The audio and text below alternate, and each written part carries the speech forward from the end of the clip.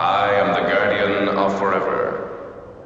Are you machine or being? I am both, and neither. Well, it's not exactly a life sign, but Where? right here. Hmm. on the order of 10,000 centuries old. Incredible power. It can't be a machine as we understand mechanics. And what is it? A question. Since before your sun burned hot in space, and before your race was born, I have awaited a question. What the hell is this? This is obviously this. I am my own beginning, my own ending. Who are you? You're asking the wrong questions. Give me a straight answer. The answer follows the question. It's dangerous if it goes the other way. I see no reason for answers to be couched in riddles. My answer is simply as your level of understanding makes possible. What is that? What do you call a cute portal? Adorable.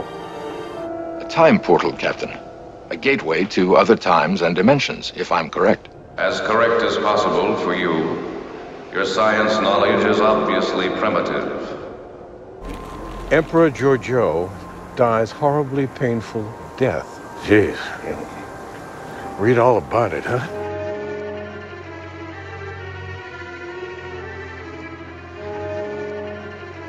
This is tomorrow's news.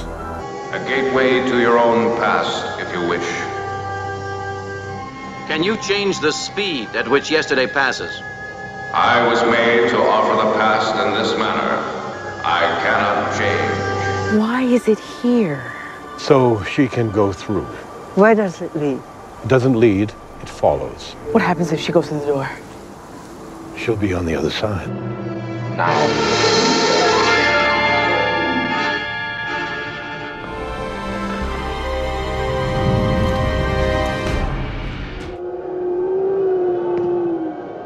What happened, sir? You only left a moment ago. Time has resumed its shape. As it was before. Many such journeys are possible. Let me be your gateway.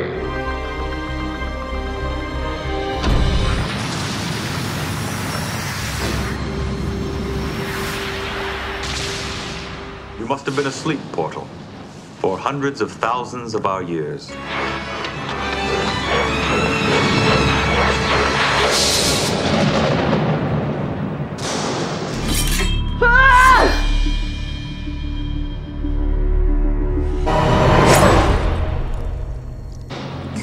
Facing fate with composure. Fear is the true enemy, the only enemy. Only fools have no fear. Yeah,